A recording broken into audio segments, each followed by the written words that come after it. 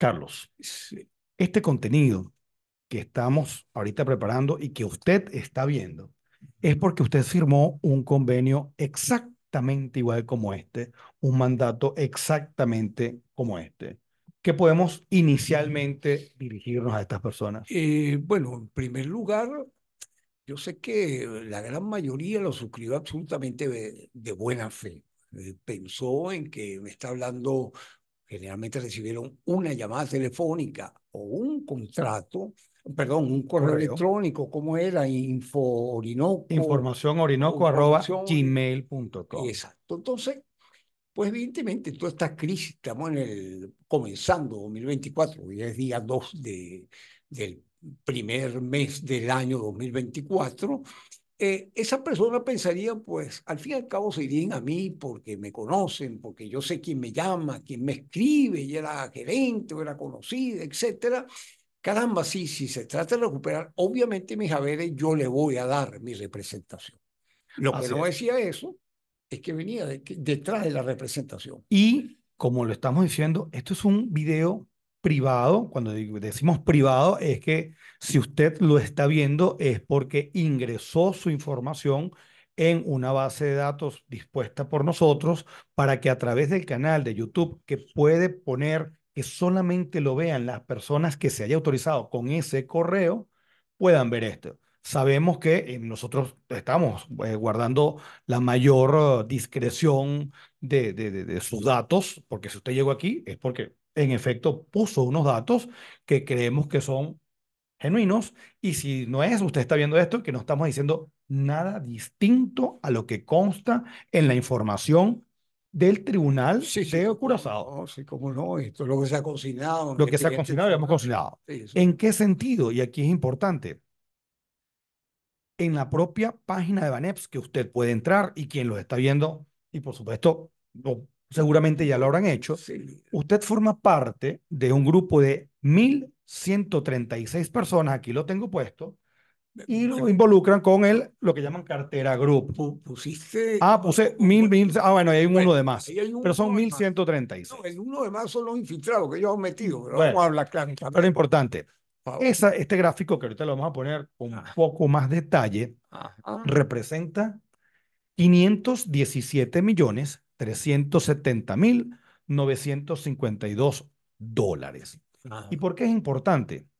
Nuevamente, y quiero insistir, en la lista publicada de acreencias provisionalmente admitidas, Sí. dice que vienen representados por estos ciudadanos que estamos mencionando aquí. Carely Valentín, Armando Hurtado Vesga, Félix Ferrer Salas y Rafael Álvaro Ramírez Pulido. Sí, así aparece en la lista. Así está en la lista. No estamos diciendo No, nada distinto de lo que es información pública. Entonces, si usted está metido en esta lista, hay varias cosas que debería saber. Uno, una vez que se decreta una medida como esta, que va a la quiebra, la liquidación o la composición, el liquidador, el trustee, toma posesión de las comunicaciones de la empresa fallida, de la deudora. Así es. ¿Qué pasa?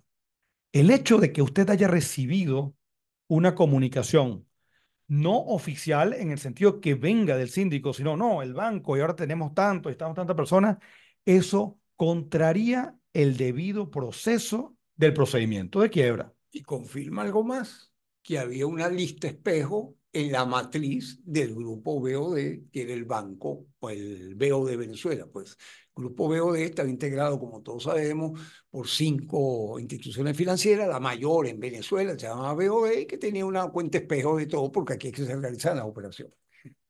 Y estaremos insistiendo este contenido y en este contenido no estamos diciendo nada absolutamente distinto a lo que está pasando en el tribunal. Aquí existe un abierto conflicto de intereses, porque usted no le puede dar el poder para que represente también a la misma persona al acreedora, a la, la- la- la deudora, en este caso a la fallida y sus accionistas. Claro, tenemos prueba testimonial y prueba documental de que, de que es así. pues.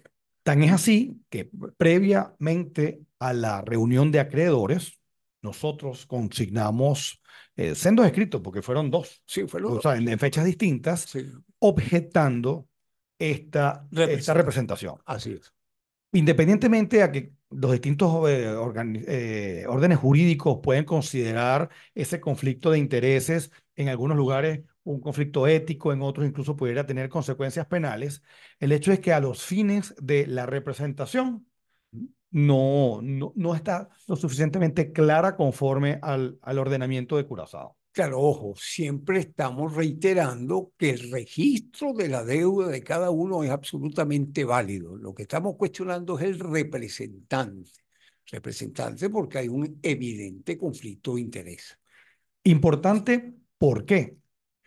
Porque lo que va a pasar en el tribunal o en el procedimiento en general, porque se va dando en distintas instancias en el sentido de hay conversaciones y hay gestiones que se dan en el marco del comité de acreedores, también un grupo asesor, un grupo colaborador que hemos conformado, los abogados que asistimos, grupo este, porque sí, aquí hay labores de investigación que, mira, si no hay dinero para sufragarla, cada abogado, como somos nosotros y los otros abogados, han investigado y han obtenido esa información que la estamos poniendo a disposición de un Así mejor acuerdo. Así es.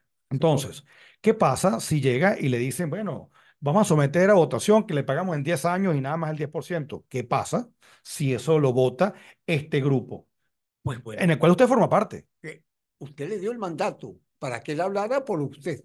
Esa persona era así, yo estoy de acuerdo, paguen en 15 años. O no paguen, sino un porcentaje mínimo. O sea, una donación. Pues. Pues claro, entonces, por eso es que es importante y por eso es que estamos objetando.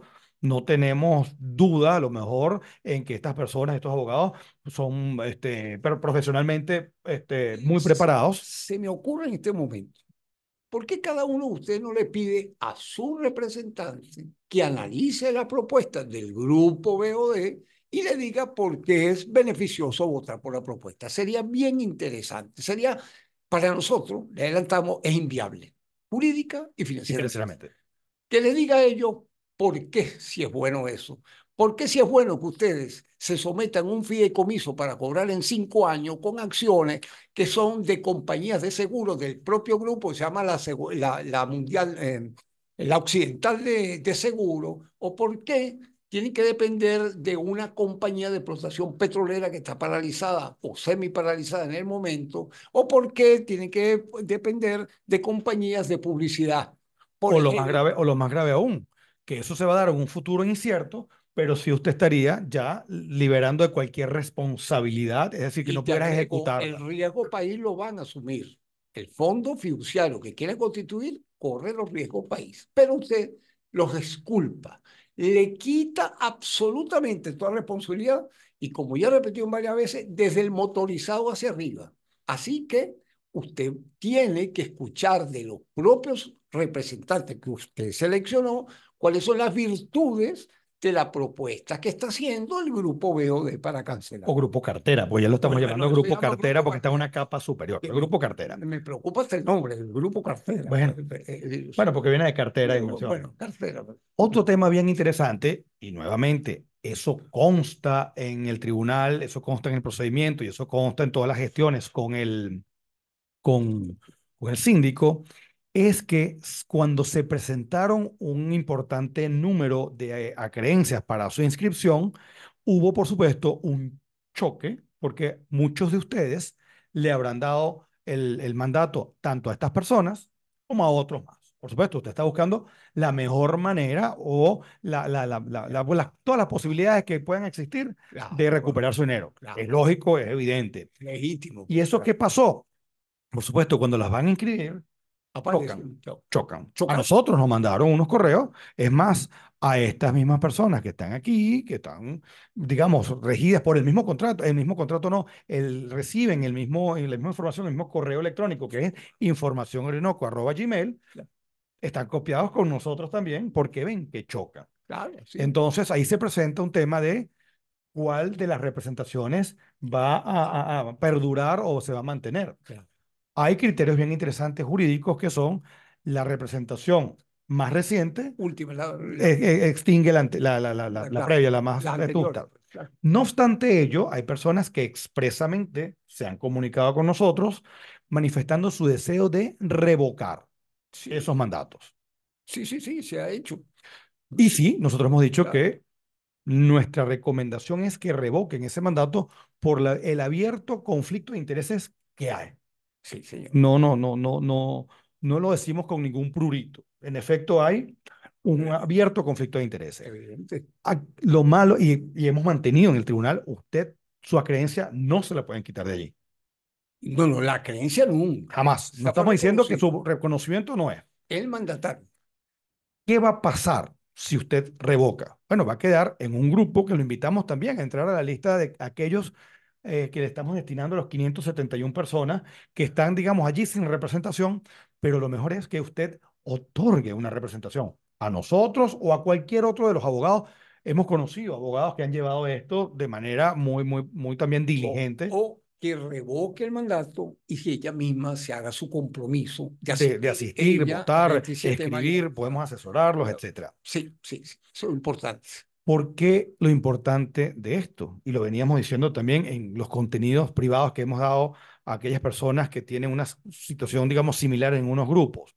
Porque no solamente se queda el procedimiento de quiebra, de liquidación o composición en el reconocimiento de la obligación, sino la toma de decisiones de cómo se va a repartir cómo se va a liquidar y cómo se va a recuperar y van a satisfacerse esas creencias. Y bueno, tanto es así que como aquí conversando, que acabo de decirlo, sería bien interesante que su mandatario, es decir, la señora Carelis, eh, los otros abogados que ahí participan, le digan las virtudes de la propuesta de pago que ellos quieren. O si apoyar. llegaron a recibir, que eso es lo que iban a proponer en el, en el tribunal. Mm, No, no sé si yo, si cada uno de ustedes conoce ya lo que propusieron, digamos. Si no conocen cuál es la propuesta que tienen, entren en la página de Baneps, Y allí la van que es esta, la de Baneps, La- sí, la que hemos Esta, instalado Baneps, esa, vale. que es el liquidador, Ujú. y ahí lo pueden descargar abiertamente. Exactamente. ¿ok? Por supuesto, lo evidente, lo lógico es que si usted tiene un mandatario,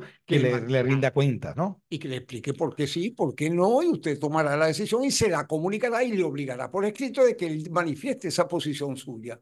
Porque recuerde que usted está viéndonos a través de esta cámara, usted dio un poder, nosotros no tenemos duda alguna que este, fue, fue, lo recibió y usted daba fe, o sea, de buena fe concedía eso, revise de dónde viene, que es informacionorinoco.gmail.com, Sí. no es un, un mandato, Que no un correo este, oficial, la institucional. pena señalar que esos mandatos comenzaron proponiendo aquella situación tan absurda que nosotros las advertimos hace más de un año, en el cual se proponía que usted autorizara a su mandatario, es decir, la señora Carelli, etcétera, Y otros, que porque había otros mandatarios Sí, distintos a sí. este, ¿ok? Esto, esto ha venido como, como, como evolucionando. Y yo creo que también merecen saber esto, porque antes, cuando digo antes, había unas versiones anteriores, una redacción que señalaba, autorizamos para que nuestros saberes sean traspasados Al al Boy Bank. Bank. Mandata, mandato que luego mutó, entre otras cosas, en ese momento creíamos, pero hoy en día casi que podemos confirmarlo y tenemos una gran certeza, porque Boy, como Boy Bank, ya no es Boy Bank. No, quitar el banco, Hay que quitarle el bank es voy. no fue renovada la licencia Bancaria. bancaria. Es decir, que ese BOI, otrora Bank International. Corporation, Claro. es solo un BOI. Sí, Y es una, perso- una persona jurídica en jurisdicción de, de Antigua y Barbuda, exacto, pero, no tiene facultades bancarias. Entonces, por eso la complejidad de esto y, y, digamos, las consecuencias no son cosa menor. Sí, eh, desen cuenta, si no la tienen, que revisen ustedes que la primera propuesta o fórmula de pago que propone el grupo BOD, de las cuatro que propone, es la transferencia de sus haberes al BOI, al BOI Bank, dicen ellos, pero yo digo el BOI porque no están autorizados. Dese cuenta en qué fecha dieron ustedes ese mandato. Eso es importante tenerlo en cuenta, porque lo que era quizá ahorita no es, y quizás para el momento que usted lo otorgó tampoco lo era. Es decir, ya no era bank. Entonces ahí hay unas situaciones jurídicas que pueden estar ofreciendo expectativas de derecho que en la actualidad no la tienen. Expectativas de autorización administrativa que ahorita no la tienen. Expectativas de ser miembro de un sistema financiero que ahorita no lo tienen. Y entonces estamos alegando que aquí hay unos mandatos que no tienen sustentación cierta para lo que se está debatiendo en una audiencia. Ustedes tienen que pedir explicación, se lo repito, y por favor, hacer acto de presencia si no nombran a ningún representante o seleccionen personas de su confianza que les permite expresar su voluntad en, en esa reunión del 27 de mayo. Merecen ustedes también tener conocimiento de los tiempos y qué es lo que va a pasar. Porque en esta reunión de la primera semana de diciembre del año 2023, este, digamos, esa propuesta totalmente inviable, totalmente opaca, totalmente oscura en cuanto no te enseña cuáles son. dicen que hay, dicen que hay algunos, una, una cartera con unos montos superiores. Le comento que yo estuve allí personalmente y había un abogado de, de, de, de Curazao quien decía, este, bueno, señores, si hay una, una cartera supuestamente con un activo, un patrimonio superior a la deuda, ¿qué hacemos aquí? ¿Por qué no liberan? ¿Por qué no liquidan de una vez? Pero no nos dicen cuál es la composición, no nos dicen cuáles son los tiempos de, de, de vencimiento de las carteras. Estamos trabajando desde la perspectiva financiera. Nuestros asociados del área financiera con eso, digamos, a, a tientas, a, ciegas, porque no hemos podido corroborar, porque nadie tiene, ni el síndico dice más nada, esta oscuridad es total, ¿no? Sí, acuérdense que se han manejado por cuatro años, teóricamente, las cantidades depositarias del Orinoco, que tienen que haber generado intereses. Si eso tuvo una inversión en papeles, esos, esos papeles tenían cupones. Tampoco sabemos qué pasó. ¿Dónde están los papeles? Nunca se supo. ¿Dónde está el balance de liquidación definitivo del, uh, interventor? No lo presentó. O sea, aquí hay demasiada laguna, demasiada simpleza que está, está agarrada, está sustentada en esa mayoritaria representación que dicen tener, que yo no estoy tan seguro, que cumplan los extremos de que va a establecer el juez para que sea aprobada una propuesta, en este caso la de ellos. Importante también porque se fijó ya, ya está fijada, incluso se revisó con el calendario del tribunal que para el día 27 de mayo a las 10 y media tendrá lugar la reunión en Curazao, en la, en la sala, en la sede de audiencias del sí. Tribunal de Primera Instancia de Curazao, este, esta reunión de acreedores, fecha para la cual ya debería estar este, una propuesta formal de un plan de composición. Plan de composición que nuevamente deberá ser más viable que eso que, que, que, que asomaron y que espero que tomen en cuenta, porque muchos de los, del grupo estamos trabajando en hacer propuestas jurídicas y financieras. Y lo que vamos a plantear, vamos a plantear con certeza, con demostración fehaciente de dónde vienen los datos que vamos a alegar, de cuál es el supuesto financiero que eso tiene, para que sea realmente una postulación o una propuesta seria, factible, viable y transparente. Eso es importante. Así es. Nuevamente, y quiero pasar también estos gráficos para que usted se vea también eh, representado, en el sentido que usted, que forma parte de estas 1.136 personas, está también dentro de este grupo mayor, está también dentro de las personas que nosotros y otros grupos de abogados están representando, están estos números que están aquí, este, de estos 1100, 1842, sí. 1136 son de este, por estas, estos mandatarios que identificamos y representamos el 83%. Cuando digo representamos es porque representados como abogados. Todo. Un universo de abogados que representan todo y entre ellos están, pues, unos señores que nosotros estamos cuestionando mucho su representación, pues. También. Importante también, vean aquí, este, usted forma parte de este grupo muy, muy, muy, el verde, muy amplio, de 1136, y vean cómo esto puede incidir en que se tome una dirección hacia una toma de decisión u otra toma de decisión. Sí, si usted vio este programa, al terminarlo, usted mismo pregúntese, ¿usted sabe qué es lo que este señor puede aprobar en nombre suyo? ¿Usted sabe si la señora Carelis ya tiene cuadrado, o sea, ya se convenció de que la propuesta del grupo BOD es la mejor? Ella, ella o ellos le informaron a usted las virtudes o la deficiencia que eso tiene. Pídaselo, pídaselo, es un mandatario. Bueno, sí. tan es así, como es mandatario, también pudieran pedirles, muéstrame la composición de la cartera y cuáles son los papeles. Claro, porque primero, muéstrame la propuesta y luego de las dudas que usted tenga, le dice, mire, ¿por qué esto? Más, ¿Cómo ordénele. llegaste tú a esa conclusión? Y si no, mire, revócale el, el, el mandato, así es fácil. Bueno, Dele cinco días que le responda con toda la, la respuesta sólida y si no se lo revoca y se acabó. eh, Carlos, como es de esperar, de 1.136 personas, ahí vamos a tener seguramente abogados, contadores, financieros, usted que nos está viendo. eh, lo importante es que seriamente siéntese, analice esto que estamos diciendo, eh, asesórese, si no es abogado, asesórese con su abogado. Somos varios abogados que estamos llevando esto. Obviamente no tiene por qué ser nosotros. eh, analice qué es lo que está pasando, porque cada uno de nosotros en su- sus distintas áreas estamos en un caso muy, muy importante Importante.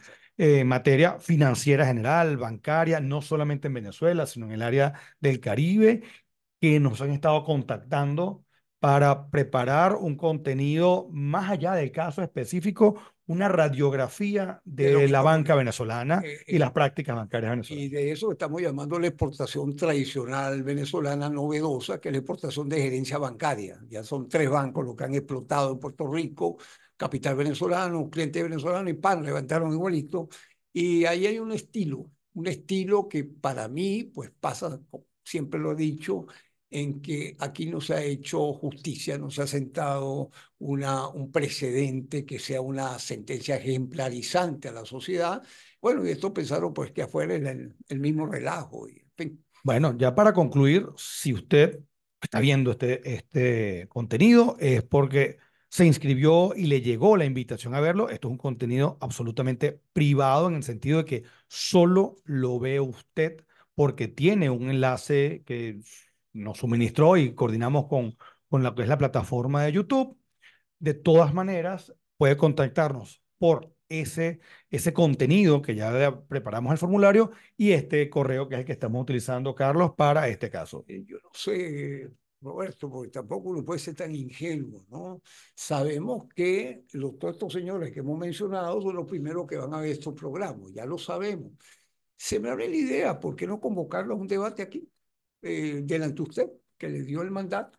Explícame, explícame por qué es bueno lo que usted propone y yo te voy a decir por qué es malo, que eso es inviable jurídicamente y financieramente. Que en definitiva eso es lo que debe ocurrir de aquí a marzo, a mayo, perdón, A en el intercambio de ideas dígalo. para una propuesta. Dígalo. Aquí nadie, y cuando digo aquí nadie, porque de aquellas personas que físicamente asistimos para, para Curazao, porque hay personas que, bueno, se conectaron por, por, qué por, válido, pues. por, por, por Zoom, etcétera. Para eso está la tecnología, para eso estamos usando Sí, también sí, esto. sí. Pero eh, a uno, como en ciertas cosas, abogado tradicional, a uno le gusta asistir al, al acto.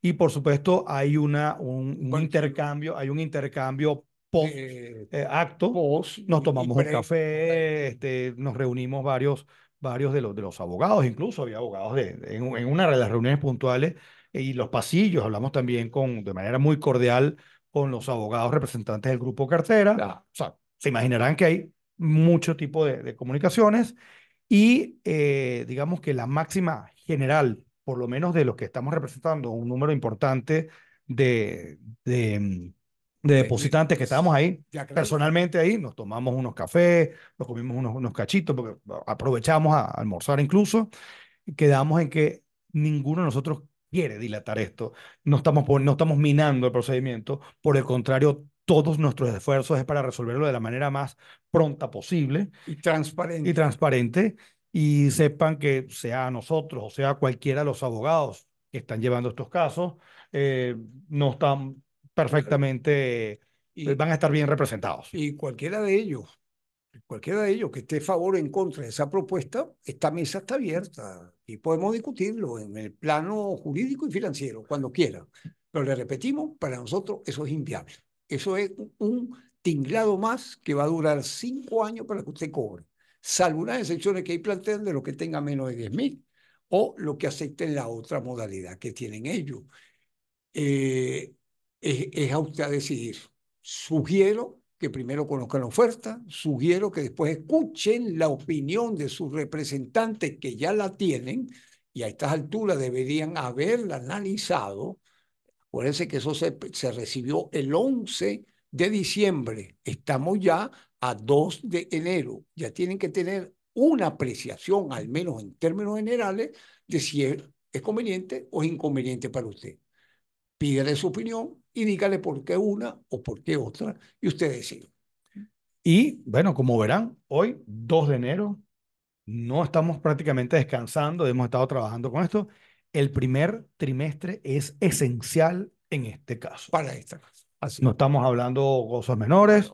Nuevamente quedamos a su disposición. Muchísimas gracias por la confianza depositada en el sentido de que para poder estar aquí, sabemos que puede haber un, no somos ingenuos, pero sabemos que si usted está viendo esto es porque puso un correo, puso un, un, un nombre válido, sepa que su información y todo lo que estamos aquí tratando que no sea información pública se, se mantendrá, por supuesto, reservada. Eh, Teníamos pendiente publicar algunas cosas que no íbamos a publicar para que esté a Claro, hay una, hay, entienda que tenemos una publicación que es abierta y también un material exclusivo para nuestros patrocinados. importante y también quería, no quería dejar pasar la, la, la ocasión de que yo, en el caso mío personal, yo entiendo que hay mucha preocupación en que salga su nombre con el monto que usted le, le deuda, ¿no? Por razones evidentes y más en Venezuela de privacidad y de seguridad. Pero eso este, no significa, como ocurrió, de que no veamos quiénes son la cantidad de personas que está allí. Se está trabajando este, para poder tener por lo menos nosotros, que seamos abogados, con un compromiso de no divulgación de, de, de, esa información, que en el caso nuestro yo no tengo duda de esa confidencialidad, de eso que está allí, no, no, no se divulgaría. este, eso se le va a proponer al, tribunal. al tribunal y al síndico que tengamos en digital una, una lista con las personas, porque uno de los temas álgidos, no, no álgido en el sentido que se prendió alguna una, contención fuerte, pero sí uno de los temas centrales en esa reunión fue, miren, de esos 1.136 a los cuales usted entró, hay muchas empresas relacionadas al propio grupo que son los propios accionistas, que pretenden tener, que eso también se está dilucidando en el tribunal, iguales derechos de voto como cualquier acreedor. Que no puede ser. No puede ser. Y ya hay, digamos, opiniones en la justicia del Reino de Países Bajos sobre los, lo que llaman los voting rights, los derechos de voto de los, de los accionistas y empresas relacionadas, que no los hay. Sí, sí, todo eso lo hemos manejado y no podemos dejar por fuera, quizá para cerrar ya, es la situación en el Tribunal Supremo de Justicia en Venezuela, la cual, por supuesto, a, apenas apertura en su, su funcionamiento, generalmente será el 15 más o menos. El 8, el 8, el 15, pero bueno, a mediados de enero. Eh, exacto, vamos a consignar una serie de documentos que tienen que ver con esto. Y recuerden también que esto está sometido ya al análisis de los mecanismos especiales del sistema de protección de derechos humanos que también nos dieron cabida y nosotros intentamos accionar. Atentos porque vamos a sacar también material especial, veremos qué tan público o privado, dependiendo de, de, de, sus efectos y también porque nosotros le debemos a nuestros patrocinados un, un contenido exclusivo. Exclusivo. Eh, y ahí vamos. Nuevamente, feliz 2024.